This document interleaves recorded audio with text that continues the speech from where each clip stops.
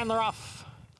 Bit of a slow beginning for number seven, Moam, and she is the trailer. The leader is Sandy's Garden from that inside post position, out for the lead by a length and a half. Flip My Id is running in second, and down on the inside is thinking it over in third with Lilu right there in fourth. A break of two to Sterling Silver, who is running in fifth. Now it's three lengths.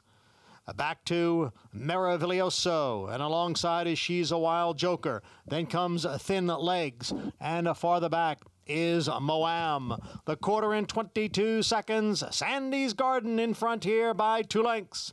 Thinking it over, and Lilu are right together second and third with Sterling Silver in fourth, four lengths from the front. Flip My Id begins the tail off. Farther back it is Meraviglioso.